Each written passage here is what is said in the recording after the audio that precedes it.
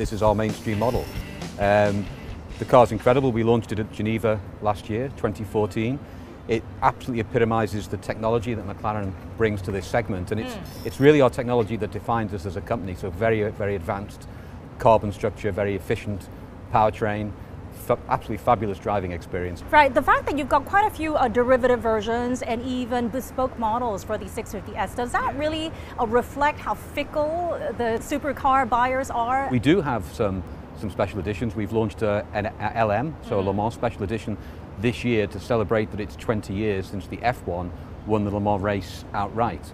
We have the, the 650S, we have a 625C derivative in, in, the Asian market as well. So we try to tailor our cars for exactly what our customers want. Even supercars, uh, that is becoming a crowded place. You've got the usual suspects, Ferraris, Lamborghinis, and even new guys like Tesla. How mm -hmm. difficult is it really to make a killing in that segment of the market? Well, I think it's about really understanding what you are and what you offer in the segment. We're not a, a fashion brand. We're a, a, company that's been born out of motorsport, a history of more than 50 years of, of dominating different aspects of, of motorsport.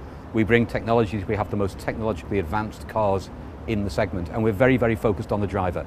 So it's all about giving the driver the best driving experience, whether it's on road or track. And there are new choices out there. P1, yeah. which is going to be unveiled at the Geneva yeah. Motor Show. Take us through your thoughts about this product. With only just over what, 350 yeah. cars being made, it already fully sold out?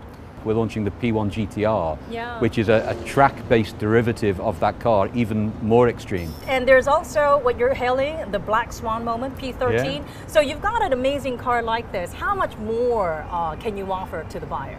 Well, we've we are in a niche with, with supercars, no doubt about it, but we've divided that niche into three segments. So we have our, our sports cars, and the Black Swan moment for us is that we bring supercar performance into that new market segment, of the sports mm. car market segment. So about two thirds of the price position of the 650S.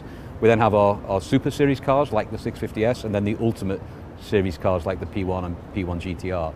So never big volume, you know, we will be a 4,000 car a year company across the globe.